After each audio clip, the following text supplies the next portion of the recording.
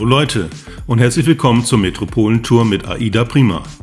Dieses Mal reisen wir nicht alleine, sondern haben unsere Kinder und deren Partner eingeladen, uns zu begleiten. Dafür reisen wir mit der Bahn nach Hamburg an.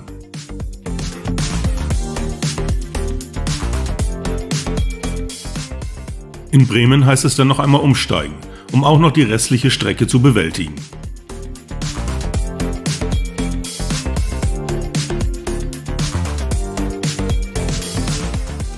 In Hamburg angekommen, gibt es zunächst einen Willkommensschluck am Bahnhof, bevor wir den Bus Terminal aufsuchen, von dem uns ein Shuttlebus zum Schiffsanleger nach Hamburg-Steinwerder bringt. Hier wartet die AIDA Prima bereits auf uns.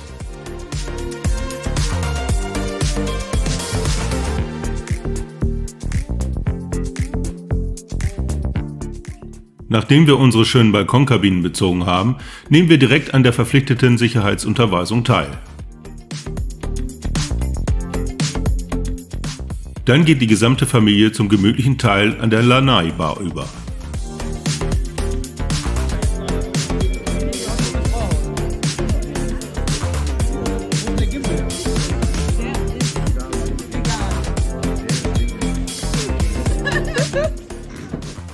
Gegen 18 Uhr beginnt das Ablegemanöver. Der Mann aus der Nachbarkabine ist auch drauf. Die Ausfahrt über die Elbe beobachten wir gemeinsam vom Balkon aus. Es geht vorbei an der Schiffswerft Blum und Voss, in der so einige Schiffe in den Docks liegen.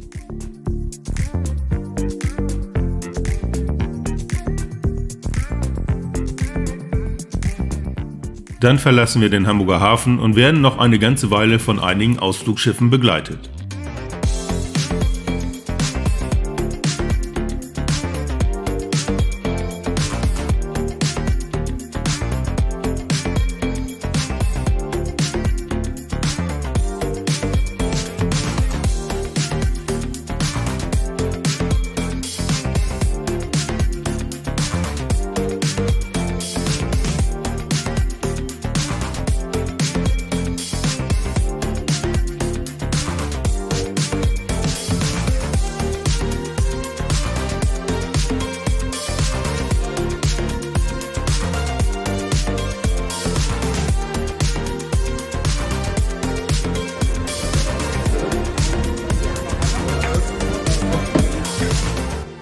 Gegen Abend genießen wir noch einmal die Vorzüge der Lanai Bar, die sich am Heck der Prima befindet.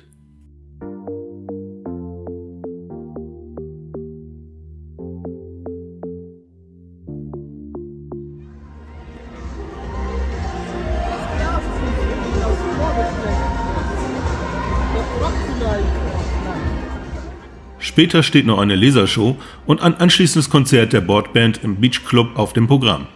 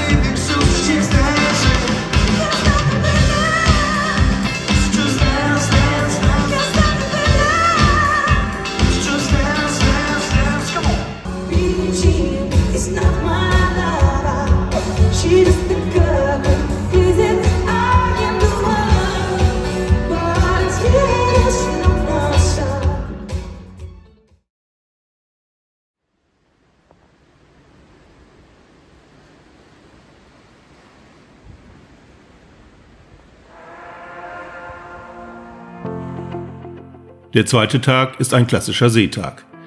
Gestern Abend waren wir von Hamburg aufgebrochen und heute werden wir den ganzen Tag durch den Emmelkanal fahren, um morgen früh die englische Stadt Southampton zu erreichen.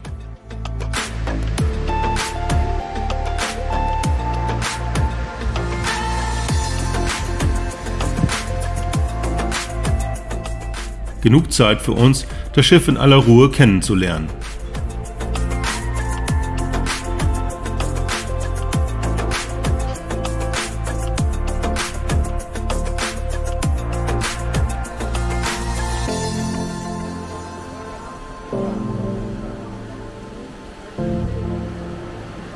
Der Wellengang ist heute schon etwas spürbar, aber dafür zeigt sich uns am Heck ein toller Regenbogen.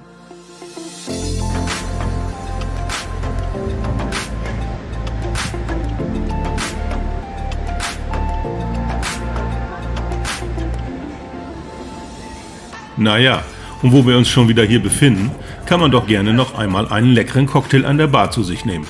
Wir haben doch Urlaub.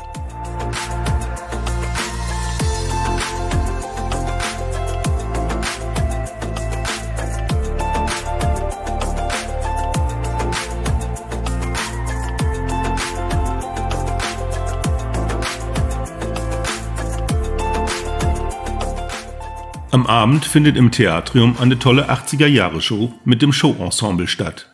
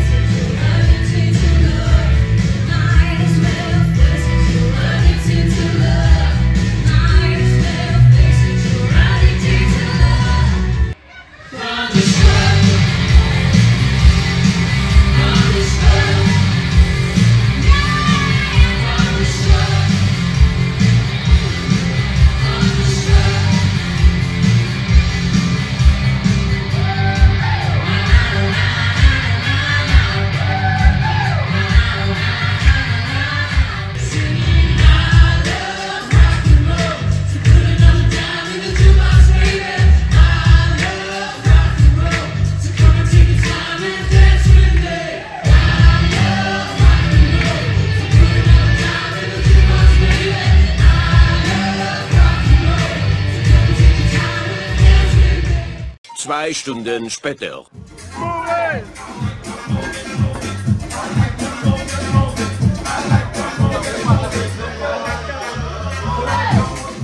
Den Tag beenden wir heute in der Disco.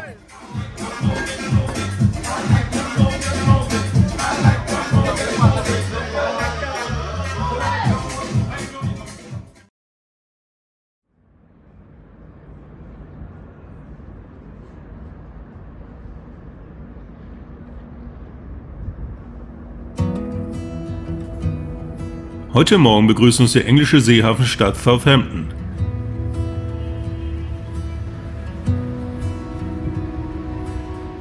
Nach dem leckeren Frühstück begeben wir uns von Bord, denn wir haben heute noch einiges vor.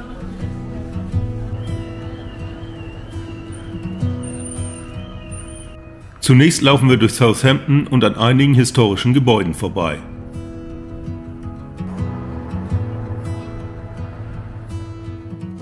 Von den Römern im Jahr 70 nach Christus gegründet, erlebte die Stadt in der Mitte des 19. Jahrhunderts einen Aufschwung und der Schiffbau wurde zur wichtigsten Industrie.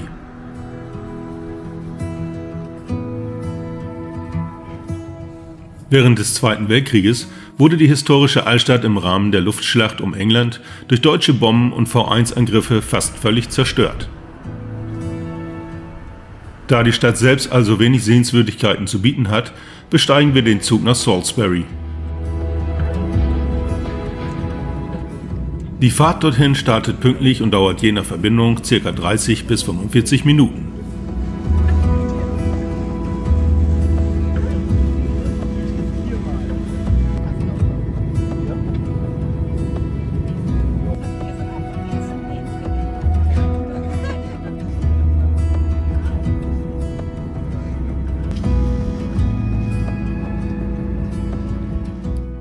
Die Kathedralenstadt Salisbury blickt auf eine lange Geschichte zurück und gehört zu den besten Reisezielen in Wiltshire. Sie ist eine ruhige und friedliche Stadt, geprägt vom ländlichen Charakter der Region.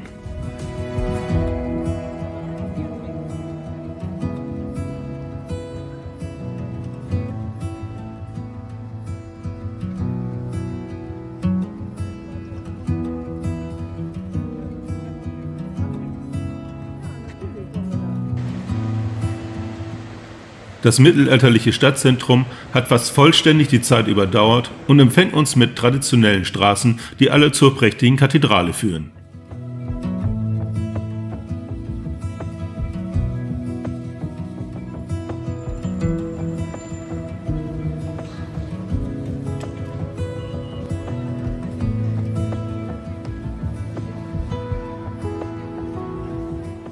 Durch das High Street Gate führt der Weg zur Kathedrale.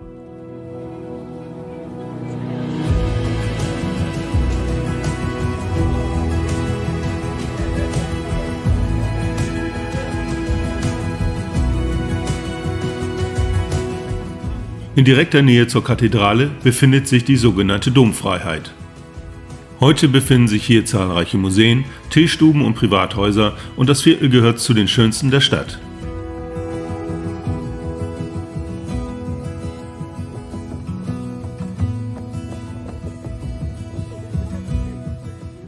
Die Kathedrale von Salisbury erhebt sich eindrucksvoll über die Umgebung.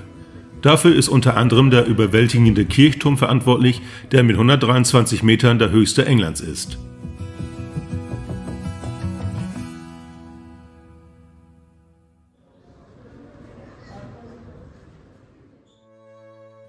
Neben der Kathedrale befindet sich ein schöner gotischer Kreuzgang.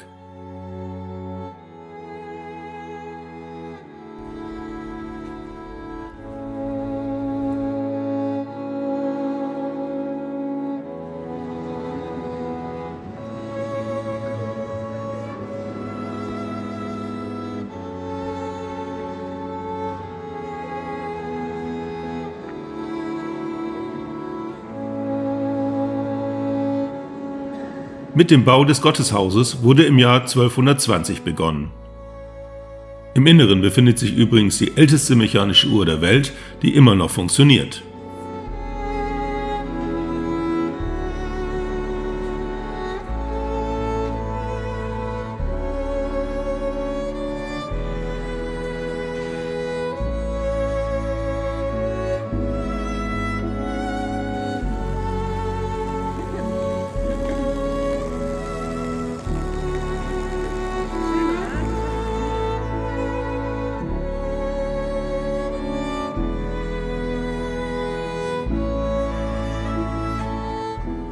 Nach nur 38 Jahren Bauzeit war der Bau vollendet. Das bedeutet, dass das Bauwerk in einem einzigen Architekturstil der frühen englischen Gotik errichtet wurde, was in England einzigartig ist. Denn normalerweise beansprucht der Bau von Kathedralen viele Jahrhunderte, sodass in der Regel verschiedene Architekturstile erkennbar sind.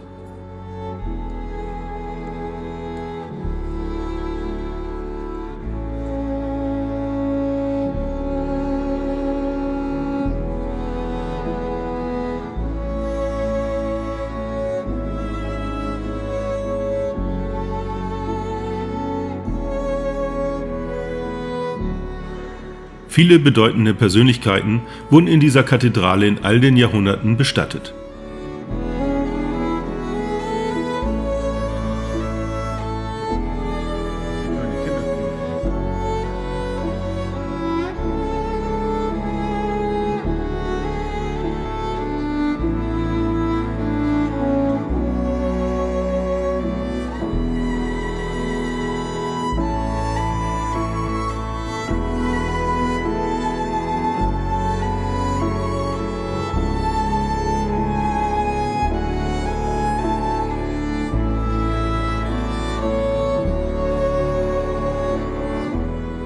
Im wunderschönen Kapitalsaal befindet sich eines der vier noch erhaltenen Exemplare der Magna Carta, die im Grunde die Macht des Königs in Bezug auf seine Barone regelte.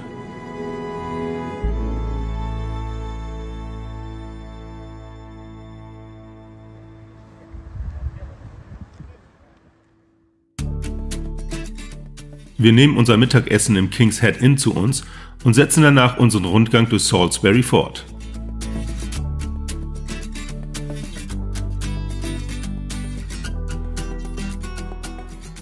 Vorbei an der ehemaligen Bischofsmill, die direkt am Fluss Avon liegt, geht es weiter durch die Altstadt.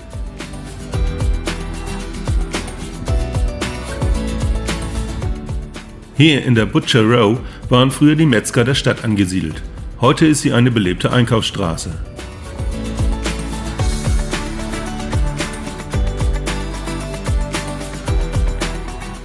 Wir werfen noch einen Blick in die St. Thomas Church, im Inneren der Kirche befindet sich oberhalb des Chorbogens ein aus der Mitte des 15. Jahrhunderts stammendes, das jüngste Gericht darstellendes Gemälde. Es gehört zu den wenigen seiner Art, die im Vereinigten Königreich erhalten sind. Erschöpft geht es dann zurück nach Southampton. Hier machen wir noch einen Spaziergang durch die Altstadt und erreichen das Bargate Torhaus. Es ist ein Relikt aus der Zeit der Normannen und wurde gegen 1180 erbaut. Die Bezeichnung Altstadt ist allerdings etwas irreführend, denn man trifft nur noch sporadisch auf Relikte vergangener Zeiten.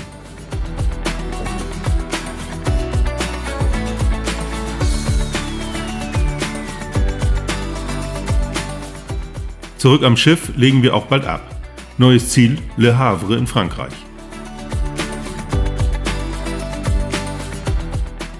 Das Auslaufen genießen wir dann erneut an Deck der Prima. Bye bye England.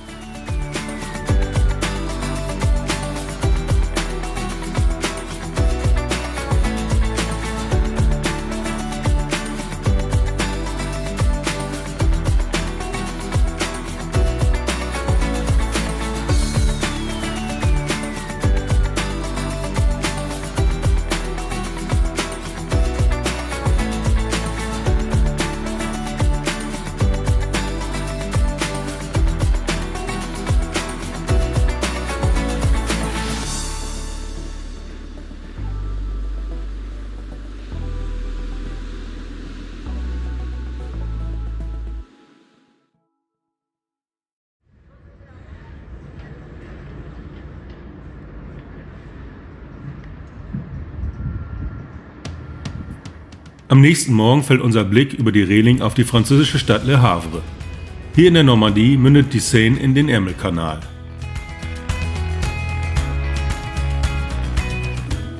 Anna Wiebke, Keno und Henning haben sich heute für eine Wanderung entlang der Steilküste von Etretat entschieden. Startpunkt ist der Leuchtturm von Cap d'Antifer, wo die Klippen 150 Meter hoch sind. Der Weg führt spektakulär oberhalb der Steilküste entlang bis nach Etretat.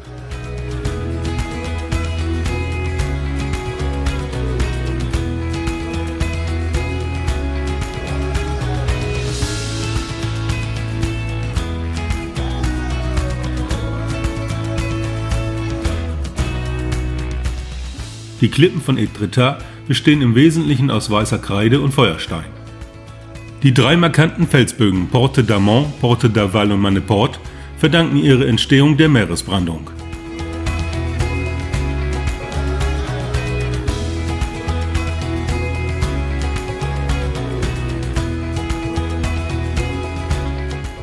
Dann erreichen sie den kleinen Ort Etretat und besuchen zunächst den schönen Kieselstrand und im Anschluss den kleinen normannischen Ort an der Alabasterküste.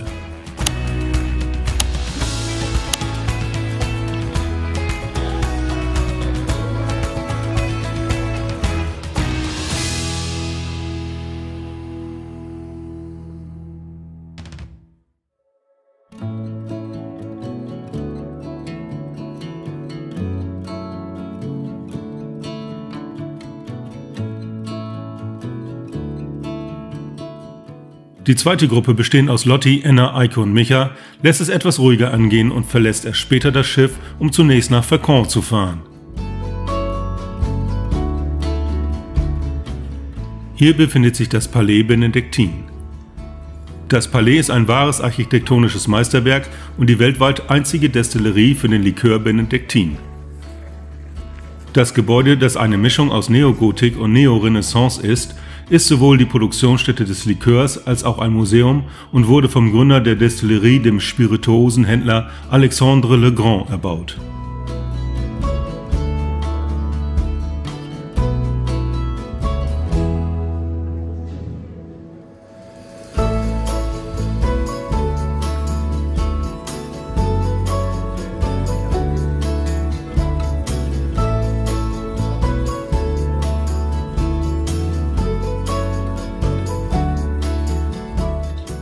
Alexandre Le Grand war ein großer Sammler und so beherbergt das Gebäude eine reiche Sammlung alter und sakraler Kunst.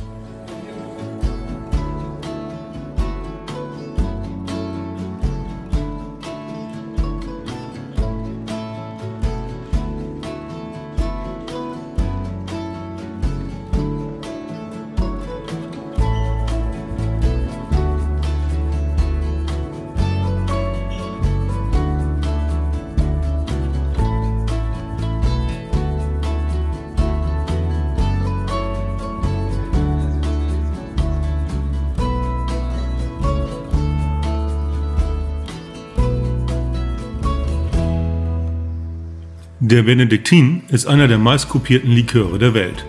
Und so kann man in einem Raum etwa 600 gefälschte Flaschen besichtigen.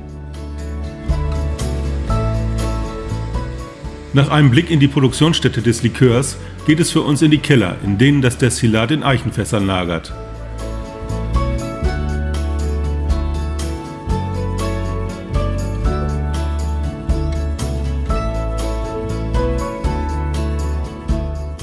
Und am Ende gibt es für uns zur Belohnung eine Kostprobe des edlen Tropfens.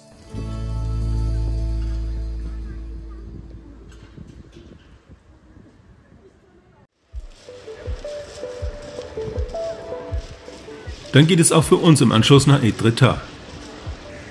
Der herrliche Kieselstrand ist wunderbar anzusehen und die Steine rutschen unter unseren Schuhen hindurch und erschweren das Laufen auf dem Strand ungemein.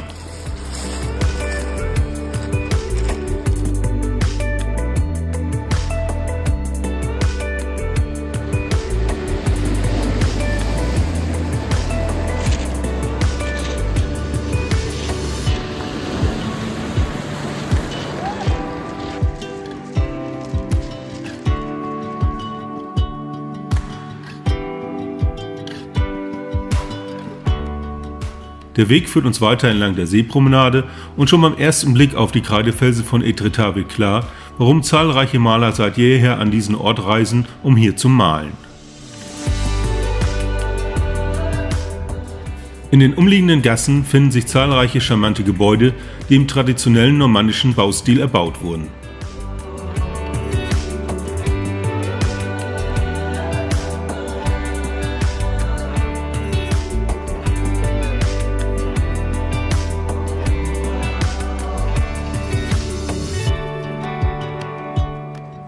Die charakteristischen Fachwerkhäuser sind mit Holzbalken verziert und haben steile Dächer.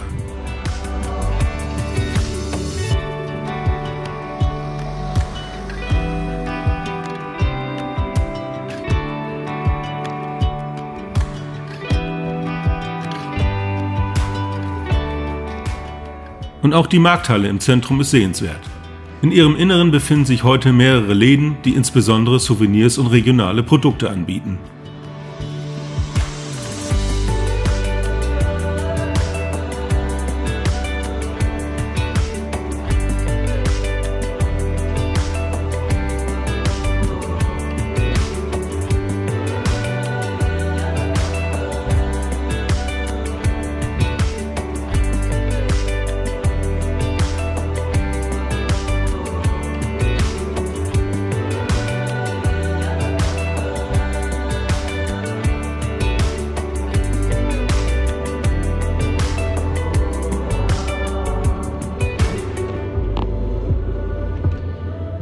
Zurück in Le Havre legen wir gegen Abend ab. Nächstes Ziel Brügge in Belgien.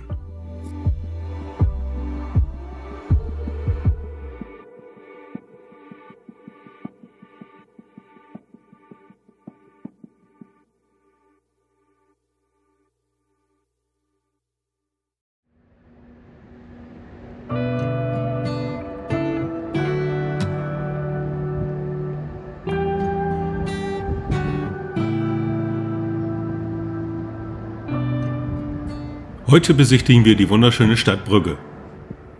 Während Wiebke und Keno mit dem Fahrrad in die Stadt fahren, macht sich der Rest der Bande mit dem Shuttlebus auf den Weg. Wir laufen zunächst durch den Minnewater Park in Richtung des Stadtzentrums. Schon kurz darauf erreichen wir den bekannten Bechinenhof, der zum UNESCO-Weltkulturerbe gehört. Der Hof mit seinen weiß getünchten Fassaden und einem verträumten Klostergarten wurde 1245 gegründet. In diesem Kleinod lebten früher Bechenen, weltliche emanzipierte Frauen, die allerdings ein frommes und eheloses Leben führten. Er ist seit Jahrhunderten ununterbrochen bewohnt. Heute wohnen dort einige Nonnen vom Orden des heiligen Benedikt und alleinstehende Frauen aus Brügge.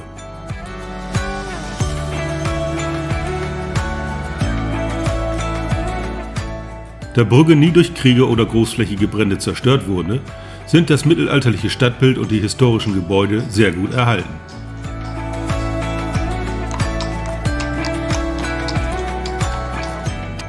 Wir passieren das alte St. Jans Hospital aus der zweiten Hälfte des 12. Jahrhunderts.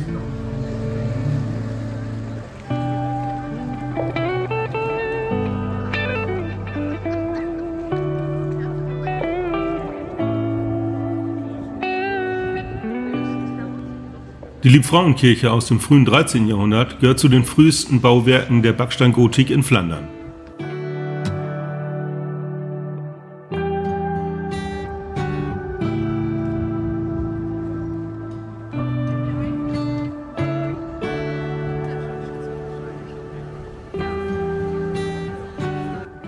Wir treffen wieder auf Wiebke und Keno und laufen gemeinsam zur Brauerei Bougange de Flandre, wo wir in einmaliger Atmosphäre direkt am Kanal ein leckeres belgisches Bier verzehren.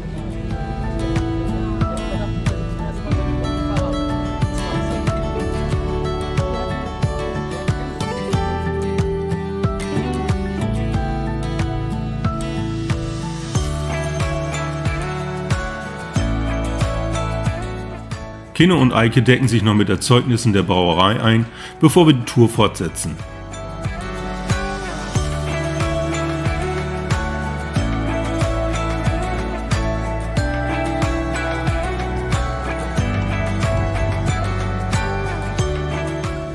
Dann erreichen wir den Rosenkranzkai, das berühmteste Panorama von Brügge.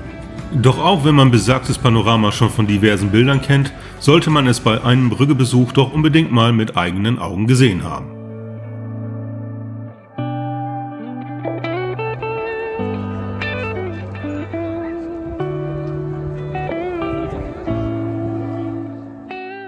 Das Rathaus wurde im späten 14. Jahrhundert erbaut und ist seither Verwaltungssitz der Stadt Brügge.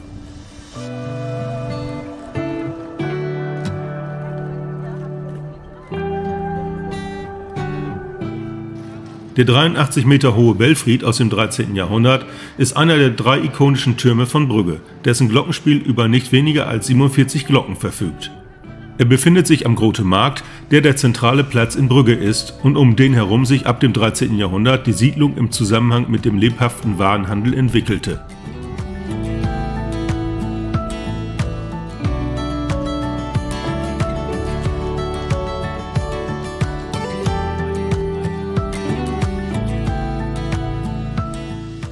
Zahlreiche Bürgerhäuser mit ihren Schmuckgiebeln bilden die westliche und die nördliche Bebauungsgrenze des Platzes, während auf der Ostseite das Historium, der Provinzialhof und ein Postamt errichtet wurden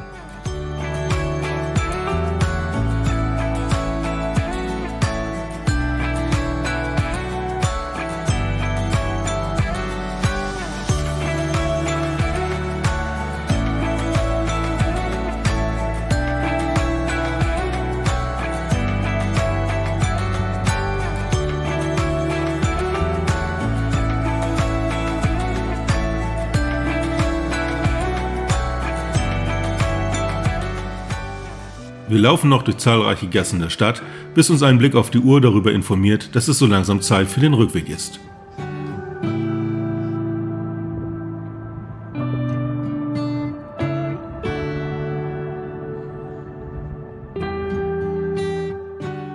Heute Nacht fahren wir mal fix um die Ecke nach Rotterdam.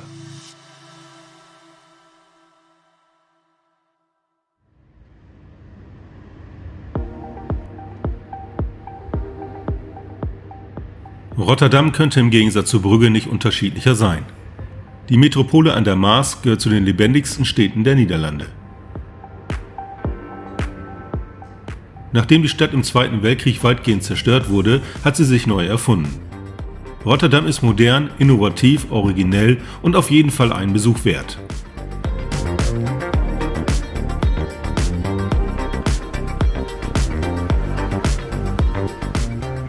Wir verlassen den Terminal und bewegen uns über die Erasmusbrücke in die nahe Innenstadt.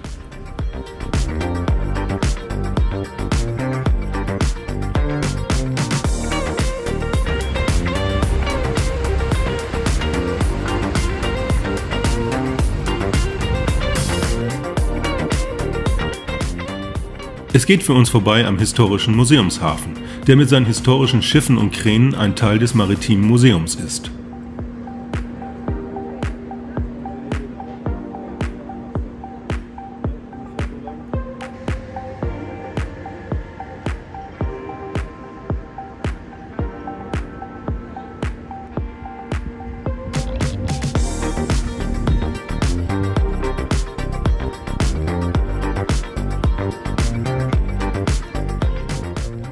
Zentrum zieht sich die Fußgängerzone über mehrere Straßenzüge. Das Rathaus von Rotterdam ist eines der wenigen Gebäude, das während der Bombardierung im Mai 1940 wie durch ein Wunder verschont blieb. In Rotterdam kann an sieben Tagen in der Woche eingekauft werden. Mode der großen Ketten oder hippe Schuhe, die Auswahl an Shoppingmöglichkeiten sind riesengroß. Nach einem kleinen Imbiss geht es weiter zur berühmten Markthalle. Dieser beeindruckende Bau, der 2014 eröffnet wurde, ist eine Kombination aus Markthalle, Wohnraum, Gaststätte, Einkaufsläden und Tiefgarage. Betritt man die Markthalle, fällt der erste Blick an die Decke. In bunten und leuchtenden Farben ist diese künstlerisch gestaltet worden.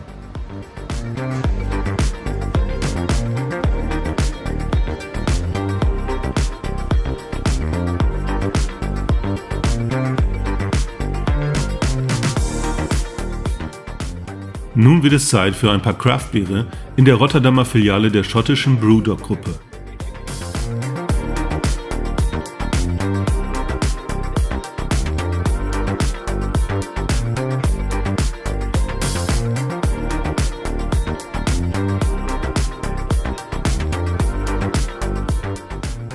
Wir begeben uns zu Fuß in Richtung Schiff und haben heute keinen Zeitdruck, da das Schiff noch über Nacht in Rotterdam liegen bleiben wird.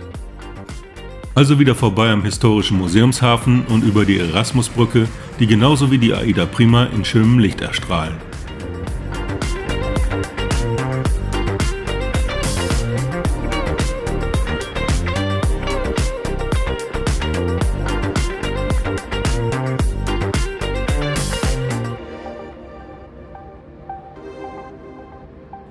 So lassen wir den Abend gemütlich mit Blick auf die Skyline ausklingen.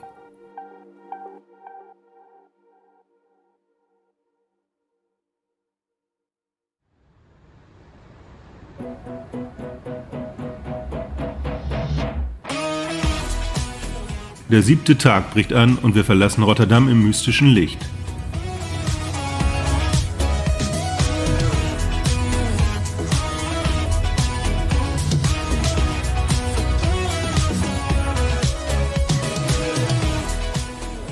Heute haben wir erneut einen Seetag und somit viel Zeit auf dem Schiff.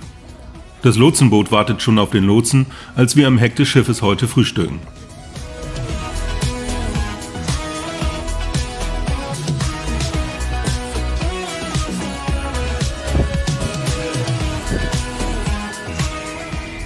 Draußen beglückt uns Poseidon erneut mit hohem Seegang, doch im Inneren des Schiffes bekommen wir davon nicht so viel mit. Am Abend steht im Theatrium eine Show mit dem Namen Let's Get Loud auf dem Programm, die wir uns gerne wieder ansehen.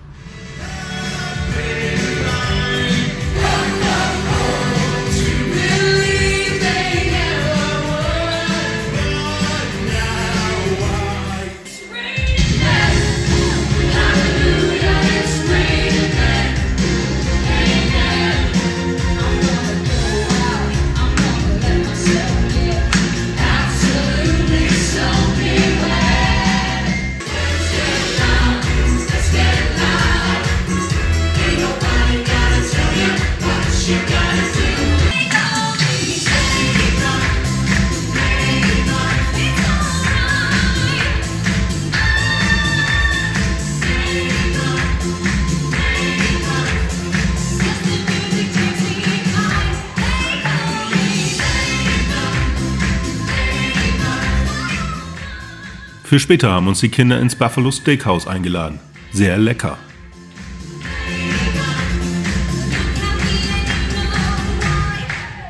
Viel später. Die Reise lassen wir dann mit der Boardband ausklingen, die diesmal ein Rockprogramm zum Besten gibt.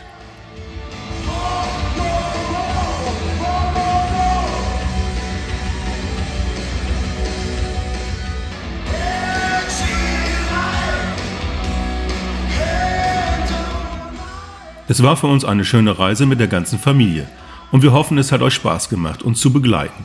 Bis zum nächsten Mal.